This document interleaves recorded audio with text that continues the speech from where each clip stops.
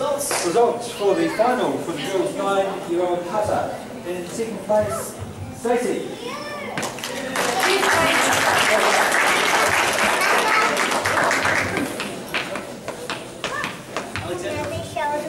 In the first place, Jessica.